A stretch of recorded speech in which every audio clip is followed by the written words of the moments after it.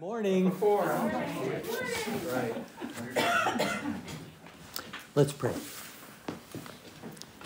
Thank you, Father, for the words we heard from you this morning through Mateus. You are unfathomable. But thank you that you are still knowable in a way that we can begin to connect with you. And we ask that as we look a, a bit more at the gifting that you've given us, that that also would help us draw closer to you. And we pray in Jesus' name. Amen. Amen. so, in fact, as uh, I alluded to in our first session, we will be finishing things up this week. And let me tell you why. As I was going through the materials, it, uh, it became clear that I don't want to simply stretch things out. We are just scratching the surface uh, right now, but I don't want to simply say because we had four weeks on the schedule, that's what we will do. And quite honestly, the last thing that we were going to talk about is uh, asking you to consider doing a spiritual gifts inventory or survey between the third and fourth session, and then on the fourth session, spend time talking about that in the class. Well, uh, this is, what is it called? President's Day, school vacation week. And so I think uh, uh, many folk will be uh, distracted with, uh, with that during the week. And uh, y'all know how to do inventories and surveys on your own and we can talk individually about these things. So I figured we'd give you a break next Sunday before uh, the next series starts. Hello. Hi. Hope you don't mind. I was coming in. praying for you when you went to Charlton months ago for your first thing. Remember Oh, that? thank you, So yes, it went well? yes, yes, they, they've lifted the restrictions, so I'm back seeing them inside. Excellent. Thanks, So, Suzanne. Sorry for the detour. Um, Okay, so let's start in. Last week, we looked at what the filling of the Holy Spirit means and saw that it wasn't a capacity thing, it was more uh, that of total immersion by the Spirit and in Him, and uh, giving us the power in order to manifest the fruit of the Spirit. We also looked at where the gifts those various lists, lists of gifts were listed in the Bible and uh, took a look at each of those spiritual gifts plus a few more. So this week, we'll take a look at whether or not any of the spiritual gifts have stopped or ceased. Also, how should the spiritual gifts be used? And finally, how do I find out what my spiritual gifts are? Now, knowing how many uh, slides there are in this, I think we're going to have a fair time for discussion. And what we had done last year when we were doing the Holy Spirit class on Zoom is when we had discussion times at the end of each session, we would stop the recording so that folk would feel more comfortable to say whatever they have in mind without feeling recorded. So Jen and I have a signal, and she'll push the button and stop it. And uh, so that'll be the case when we get to discussion time. Many scholars through the ages, and this is through the ages, have believed that certain gifts were limited to the early church. They were often called the sign gifts with the idea that those gifts were intended to be used during the establishment of the church. Tongues is one of those gifts. Uh, remember, we had that chart uh, in the first session about uh, what was the evidence of somebody being uh, receiving the Holy Spirit and also of their salvation. And tongues was one of those evidences. And uh, that turns out that that's one of those sign gifts that we'll look at that uh, people have said uh, have stopped. During that period, also, these scholars say that the purpose of those sign gifts was to establish the credibility of the apostles because those were the ones who exhibited those sign gifts, aside from those who spoke in tongues. So, those who believe that those gifts that we'll look at have stopped are often called cessationists. Those gifts have ceased. And then you have the non cessationists, which I think I've alluded to. I tend to fall into that camp. But those gifts include healing, miracle, prophecy, and this is prophecy in the sense of revealing the future, as opposed to speaking boldly, boldly and fearlessly about the gospel and God's truth. Remember, we said that many have said that Billy Graham is a modern day prophet. Uh, those who speak God's word boldly and uh, fearlessly can be called prophets, as the prophets did tongues and then the interpretation of tongues. And again, we have apostle in italics because uh, with the capital A, we're saying that uh, those who were in Christ's presence, heard from him directly, and were sent directly by him get the capital A. But there is a sense of we're all apostles. Uh, John MacArthur says that uh, the commissioning of the 12 uh, had the sense of them being ambassadors for Christ. And if you recall in 2 Corinthians 5:20, we're told that we are all ambassadors for Christ as if God is speaking through us. So in some sense, we all are little a apostles. We've all been sent by God to uh, be the sweet uh, fragrance of his aroma in every place. Now, one of the reasons that I fall into the non cessationist, even though I am not a scholar in Bible things, and so I'm going at odds with people who have studied this a lot, is when certain believers manifest the gifts that they have said have ceased. What do I do with that?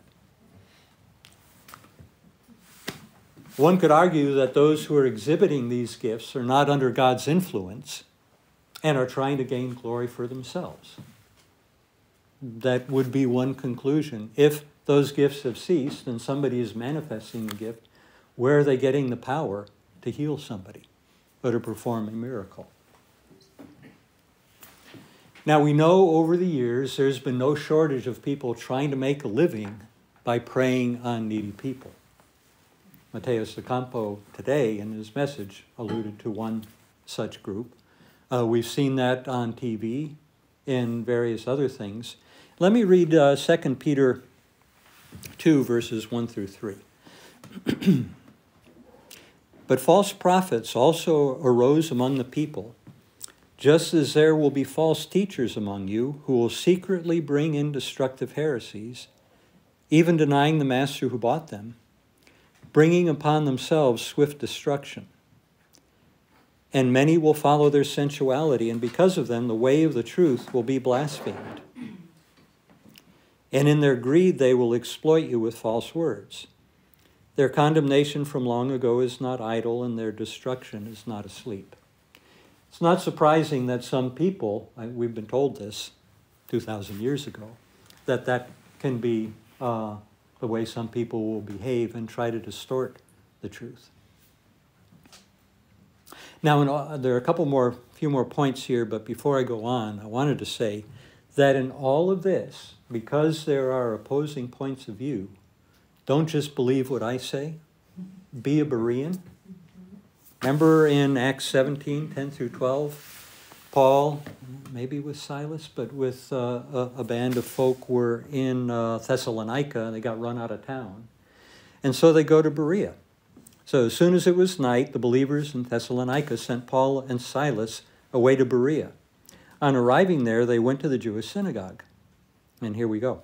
Now, the Berean Jews were of more noble character than those in Thessalonica, for they received the message with great eagerness and examined the scriptures every day to see if what Paul said was true.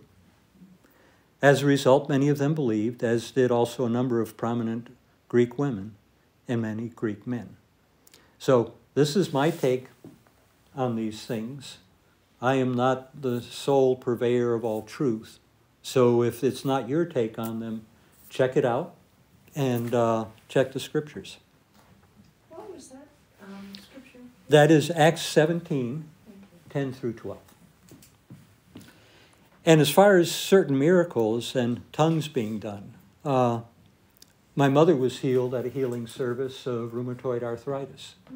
It happened like this, and it was for good. It wasn't an emotional response uh, or anything like that. The one who had this gift of healing, in the process of using it, was giving glory to God, not to his own special abilities. And I think that's one of the key discriminators. Who's getting the glory from the manifestation of these miracles? Is it God or the person? In regard, I love this thing. A friend of mine told me this account that uh, he had seen an interview regarding healing services in other African countries. Uh, this was a pastor who has a gift of healing, ministers in Africa, and the services are huge, and people are being healed from all sorts of things. So he was asked by an American why he thought we don't see such, mir- such miracles as often in this country. And the pastor replied that it's because in his congregation they haven't yet been taught that God no longer does miracles of healing. and that reminded me of Jesus saying in Matthew 13, 53 to 58, and I'll read it just like it is. When Jesus had finished these parables, he moved on from there. Coming to his hometown, he be- began teaching the people in their synagogue, and they were amazed. Where did this man get this wisdom and these miraculous powers? They asked.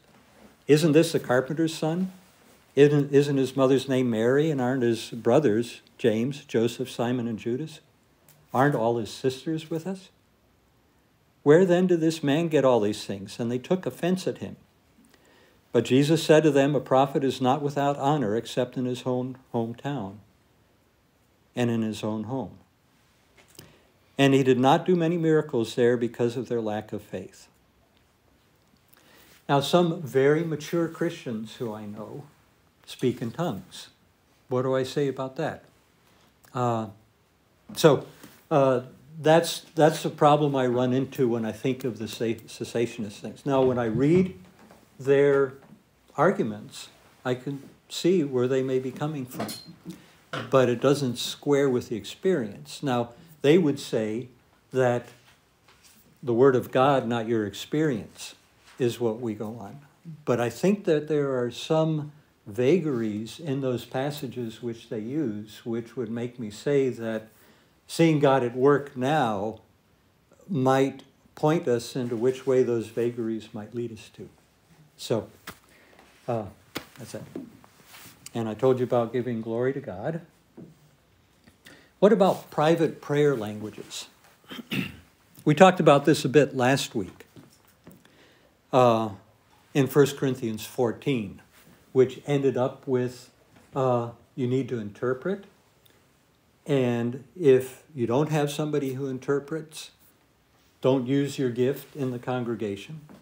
And everything should be done orderly in an uh, orderly manner in the services. But Paul said uh, that he wished everybody could speak in tongues, as he does. And he talked about heavenly languages and his spirit being uplifted, but those around him with no interpreter could easily think that he's a madman. Doesn't make any sense. So he said, I'd rather people prophesy in the sense of proclaiming God's word rather than uh, speak 10,000 words in a tongue so that everybody could benefit and the uh, unbelievers could hear God's word. So, the sum of all that is that there may be private prayer languages, I wouldn't be surprised, that there seems to be a manner in which gifts should be used out in the open in the congregation. Uh, and uh, I can't say that these people are, are faking it. I don't know that. So, said all this already, but I'll read it right here. My belief is that all these gifts continue. However, the spirit of the one exercising the gifts needs to be tested to ensure that the gifts are true and are being demonstrated by the power of the Holy Spirit for God's glory and the building up of the body of Christ. So that brings us to how should we use our spiritual gifts? And I don't I've never seen spiritual gift envy in the next thing that I'm going to talk about. So could be that this is brand new to humanity. Nobody has ever thought of this before. I don't think so.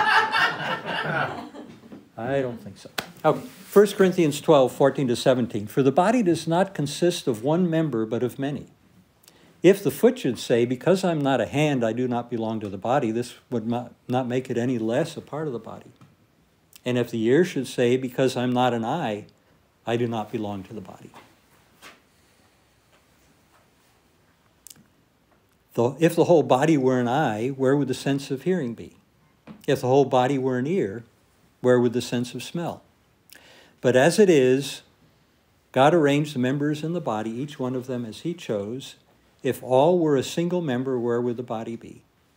As it is, there are many parts, yet one body.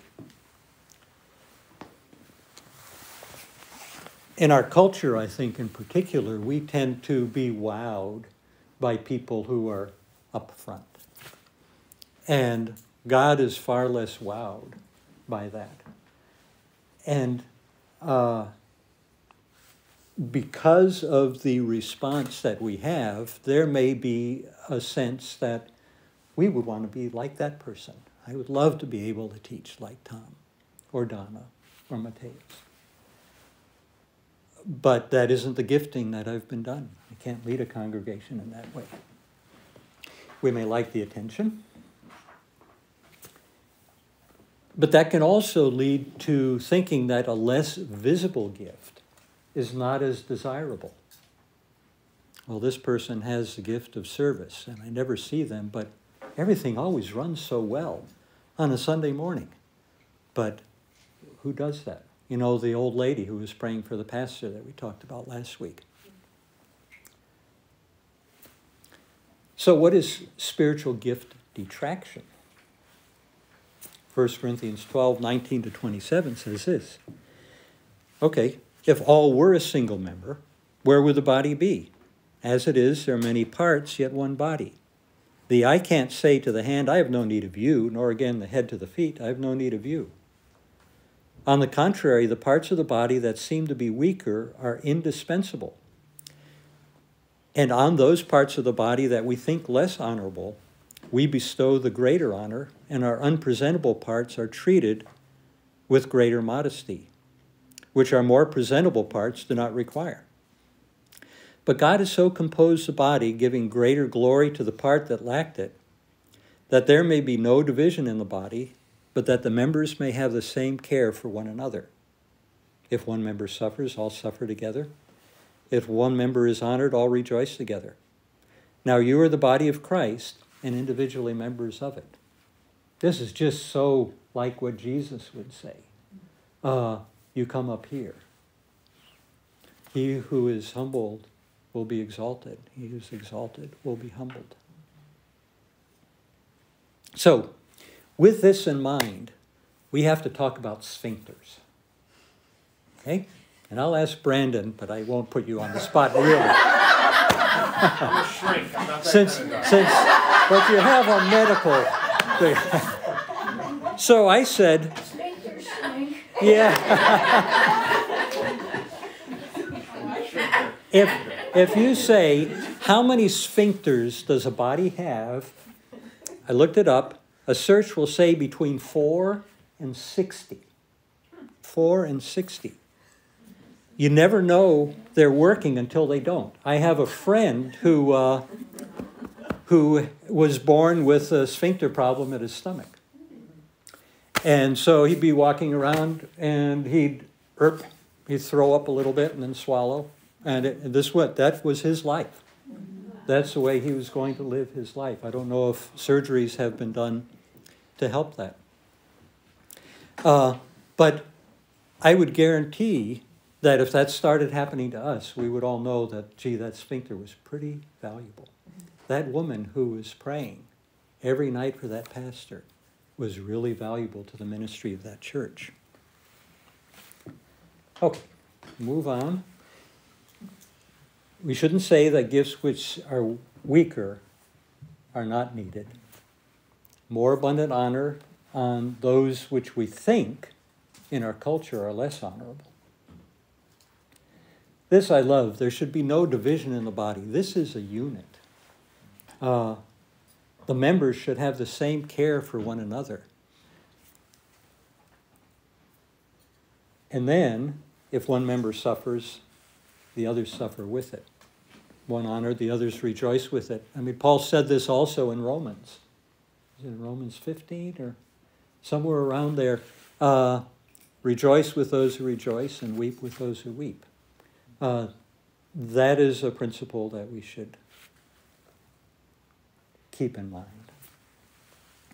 But one of my favorite verses from this 1 Corinthians 12 passage are 11 and 18.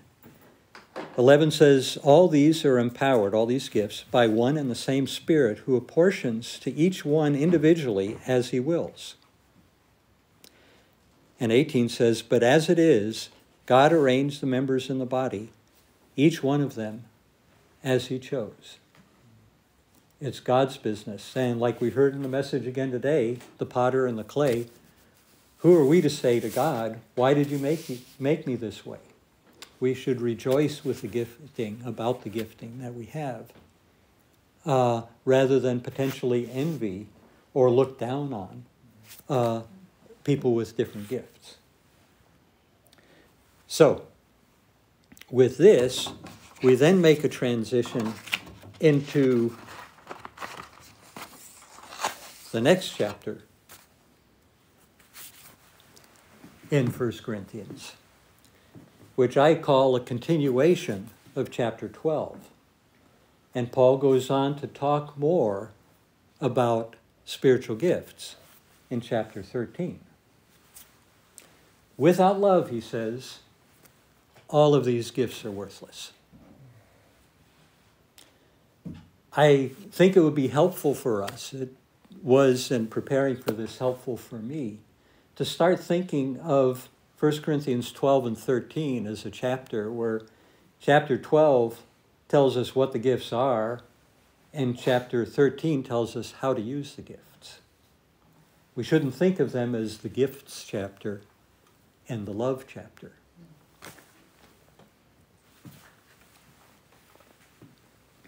If we look at the gifts that Paul mentions in the first three verses of chapter 13, they're tongues, prophecy, knowledge, faith, and giving. And he says that if you exercise any of these to whatever level, if you don't do it with love, is worth nothing.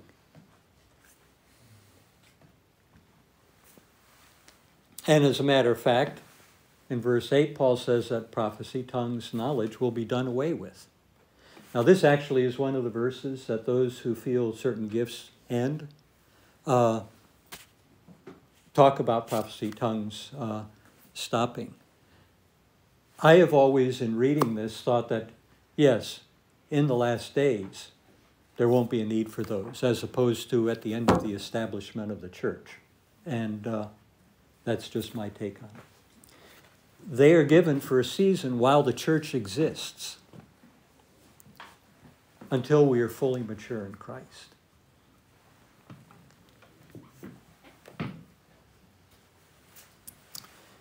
So, very short thing on how to use the gifts. So, here we are, the climax of these sessions. How do I find my gifts? Pray, pray why do you say pray? Everybody always says pray. That's the solution to everything.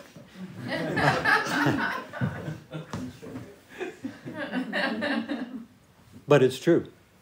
That's our starting point. It isn't a big mystery how to find our gifts because the important things in our spiritual life, God doesn't make into a big mystery. He makes them very plain so that everybody can participate in his body in a special way. Remember that a spiritual gift could be a natural ability that you were born with, and of course, a natural ability we're born with is given by God. that then the Holy Spirit energizes in such a way that it serves the body well. Or it could be a special ability that you're given when you become a Christian. Hey, I didn't used to be able to touch somebody and his cancer went away. How did that happen?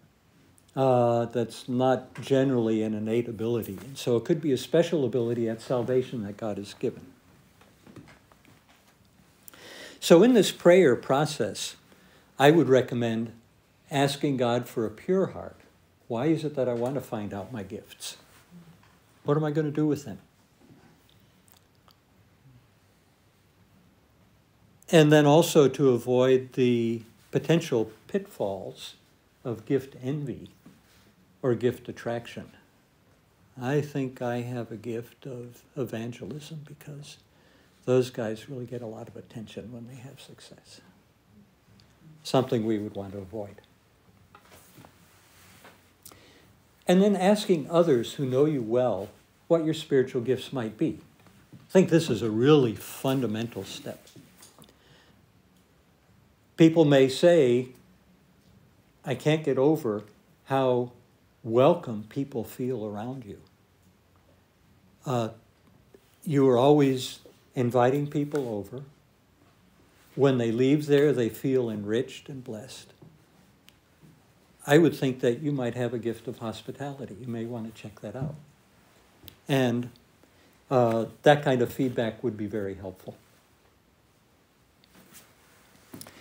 And then, of course, we're in America, so there's got to be a survey and instrument, something like that. we read a book and we're an expert on everything on that topic we mentioned two last week. One was that Wagner modified Houts questionnaire. You can just put that into your search engine and you'll come up with a bunch of links. Usually it's a PDF file, you can download it. Typically it's 14 pages long. We looked at it, uh, there are 125 questions. And uh, the basic gist there is that through looking at what your interests, strengths, demonstrated abilities are, uh, you uh, answer the questions and it says, well, these are the things that rise to the top with people who prefer these things.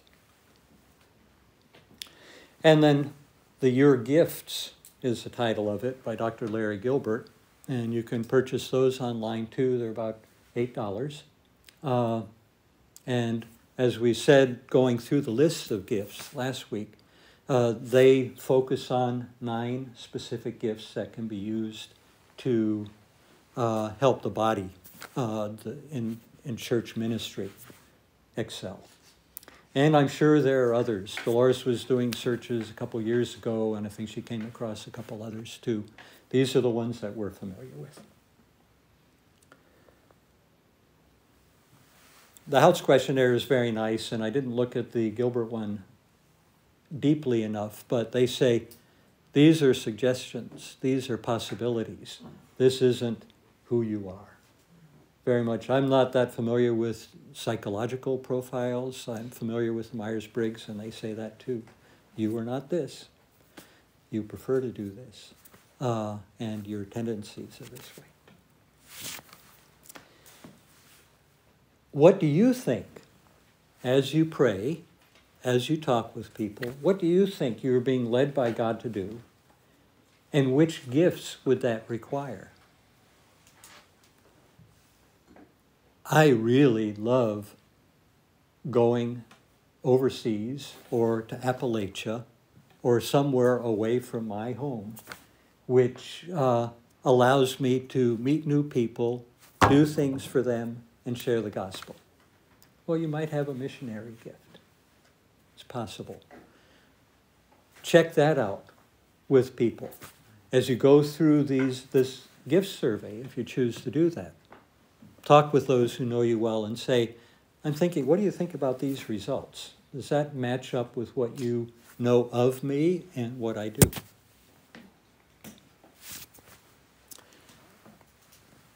What results have you seen when exercising what you think is a spiritual gift that you have?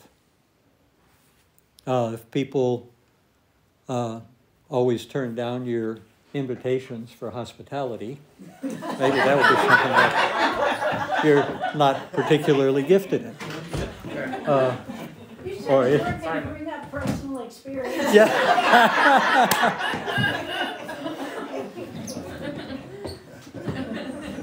and uh, so you could, you get the idea.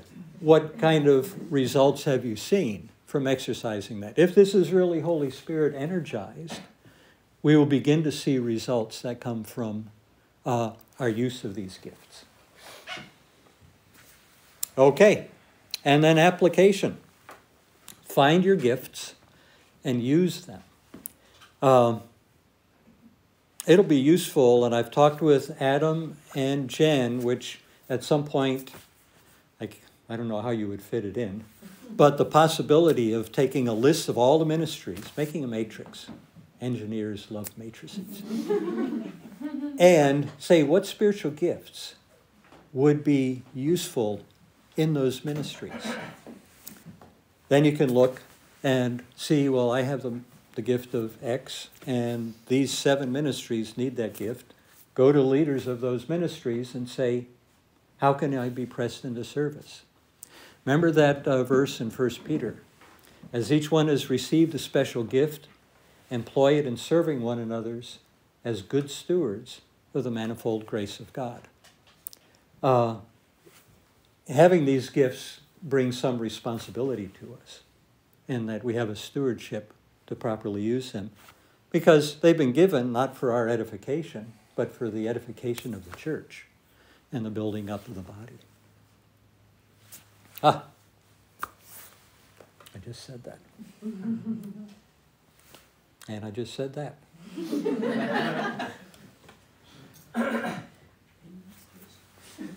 Okay, church is indeed a place to be fed, but it's also a place to serve and build up the body of Christ.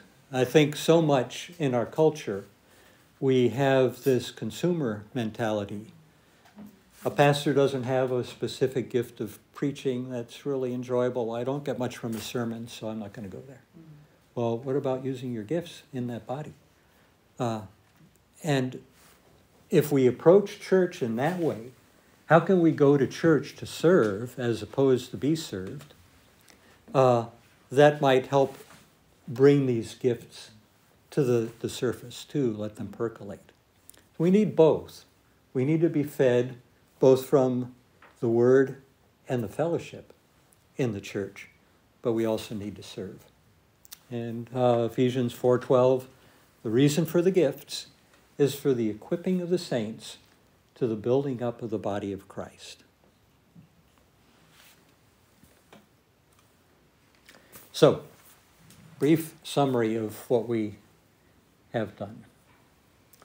The first week we looked at, uh, and we crammed in the whole prior course in 35 minutes on the Holy Spirit, who He is and what He does. We've looked at what are spiritual gifts. They can be natural, energized by God, or something given at salvation. Why were they? We just looked at that verse. Where can I find them? What are they? 1 Corinthians 12, Romans 12, Ephesians 4, and 1 Peter 4 are the four major places that we see the spiritual gifts listed. What are they? And we took a lot of time last week to go over each, I think 24 different gifts to see where they are in Scripture and look at some scriptures that show those gifts being used. Today we talked about whether or not any spiritual gifts have ceased. I've given you my take, and you all are to be Bereans, uh, but I don't think that they have. How should they be used? And finally, how do I find out what my spiritual gifts are? And an application. Pretty brief, pretty easy.